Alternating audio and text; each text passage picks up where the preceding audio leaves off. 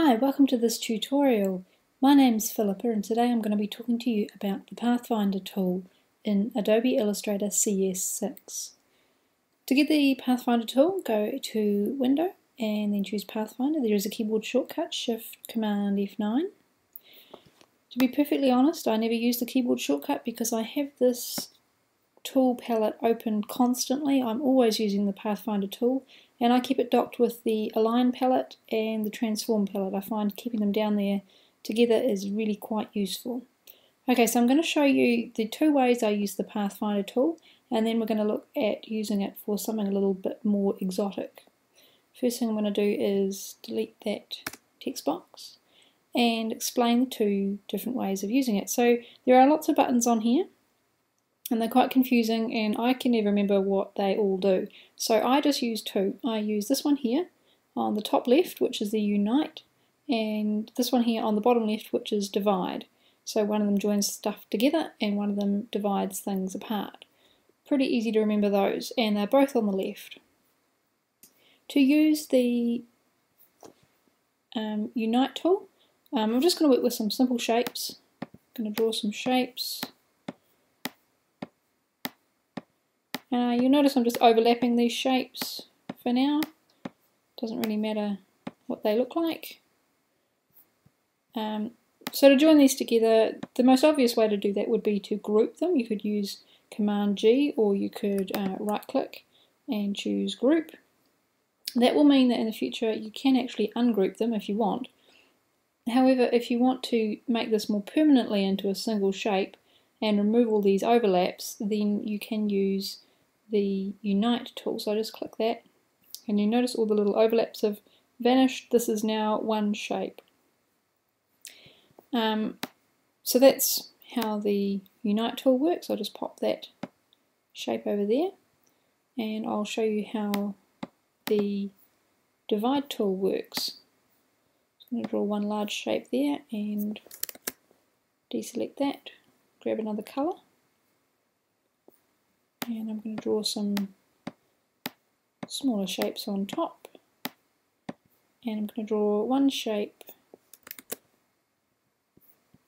that is running off the edge like that. So these green shapes are all completely on the pink shape and this orange shape is hanging off the edge there. So what I'm going to do is select all of them, just drag over with the um, selection tool, the black arrow tool, and click the divide button. Now it looks like nothing has happened. You will notice that a few of the little center spots in the middle have disappeared. Um, but if I click off this and click on it again, it's all sort of still grouped together.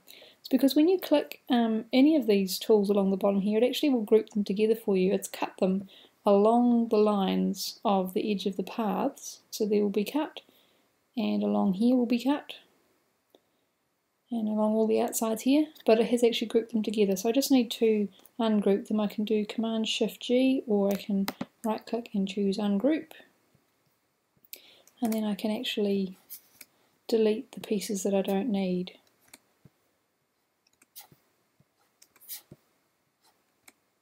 So you'll notice here where this piece went over the edge, it actually trimmed right along the um, outside line so it can be a good way to trim things as well. Okay, now that we've had a look at a basic way of how the two tools work, the Unite and the Divide tools, let's use them for making some text. So I've got some I've made earlier over here. Something, this is just a, a word typed in, um, I think it's Cooper Black is the typeface and then I've used a photograph to grab some texture out of it, live traced it, and then used the divide tool to generate these shapes. So I'm going to show you how we do that. I'm just going to zoom out and select those and delete them. So I'm going to get my text tool and I'm going to type my word just going to do one letter for now because that will be much quicker. This process isn't the quickest. I'm sure there's a faster way. I'm going to get my um, I'm going to choose my typeface. Here we go, Cooper Black. The reason why I'm choosing this one is it because it's really nice and thick. Um, anything that's too thin, this technique really won't work because you won't be able to see very much of the texture. The next thing I need to do is get a um, image or a photograph that has texture in it. I have sourced this paint texture image from mayang.com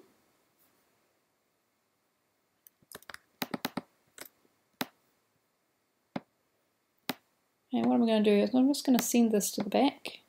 So I'm going to use Command Shift left bracket to send it to the back. And what I'll need to do is actually prepare this because at the moment it's a photograph and I will need to turn that into vectors before I can actually cut into it with my letter T. So to do that I'm going to do an image trace it's going to warn me about this because it's a large image. I'm going to say, yep, go do it. In older versions of Illustrator, this will be called uh, Live Trace. They've just changed the name of it to Image Trace in CS6. So that's not a bad trace. Um, if you want to change it, you can click up here on the Trace panel. It just gives you the options. So you can alter that if you like. You will only be needing um, black and white for this though. I'm going to leave it as standard and once you're happy with the trace you can click the expand button and you'll get all of the different paths come out of that. So if I zoom in quite a bit we can see that each of these parts is a path. That's what we want. It's still grouped together though.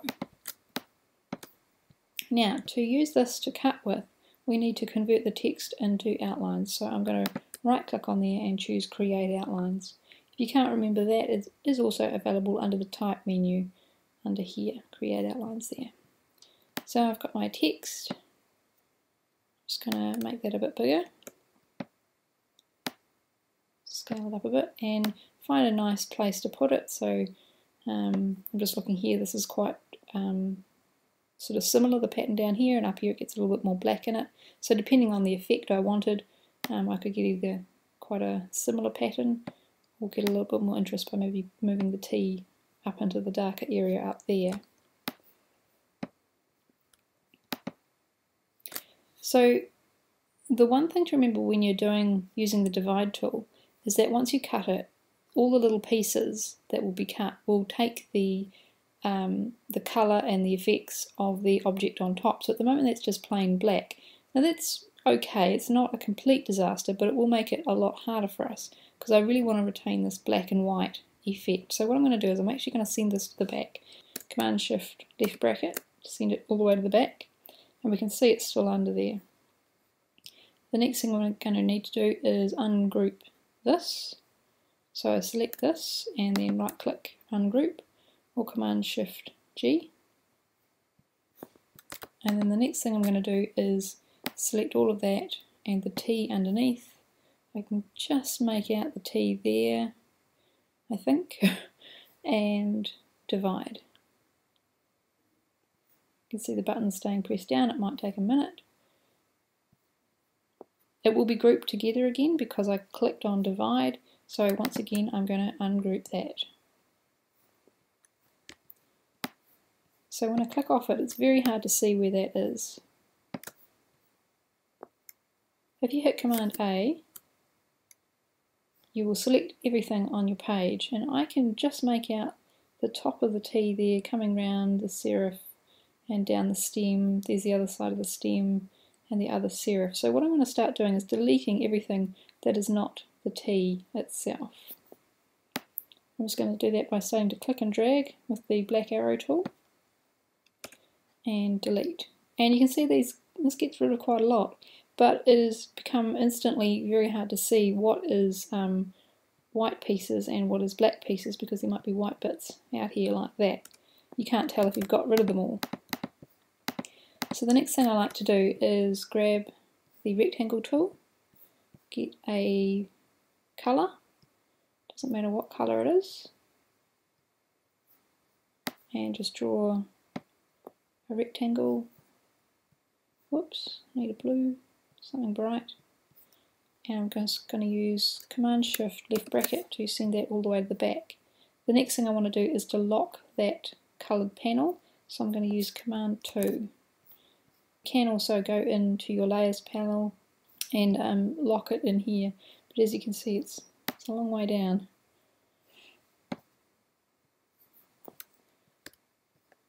So with that back blue panel locked, I can use the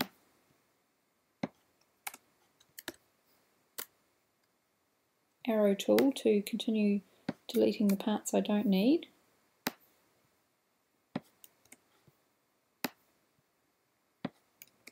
So I'm taking quite large slices off. You don't want to go too close to the letter form itself though.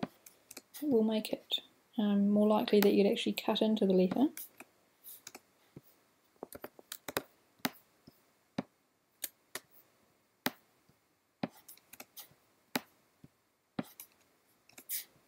It does take a while to get around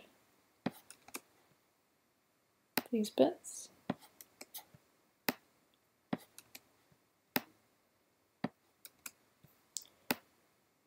So if you happen to be preparing your letters like this for uh, a typeface design you're making and you want to actually turn it into a font, um, perhaps you're using FontLab or Glyphs or Fontographer, software like that, you will not need the white, you'd only need the black. Um, so I've got a decision to make here. I could actually decide to delete all of the white in here or all of the black. Um, that's why I use black and white. I can then just actually go and grab the uh, magic wand tool and click on anywhere where there's white. It will select all the white in the entire document. So if you've got white elsewhere in the document, this will delete that as well and just hit delete. And there we go, we've done a lot of the work with the magic wand.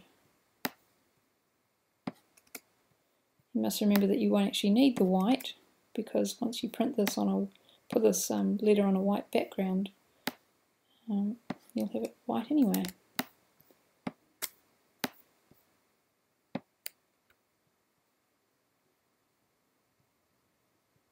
So what I've done there is I've just done a marquee across the top and then I'm shift clicking to deselect the pieces I don't want to delete.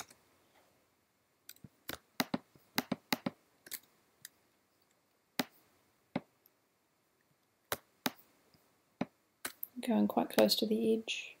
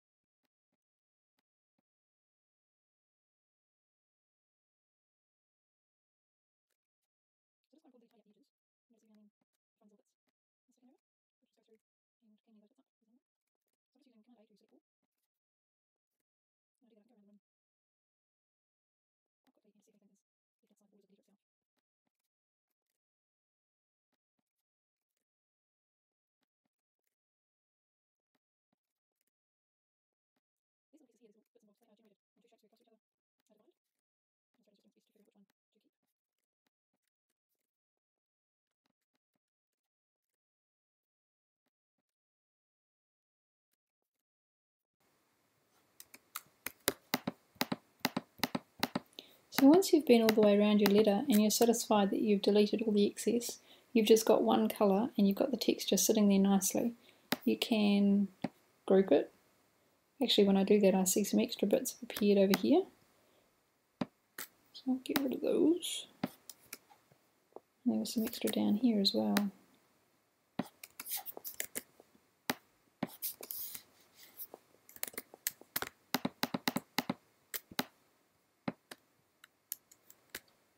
Oh, more over there.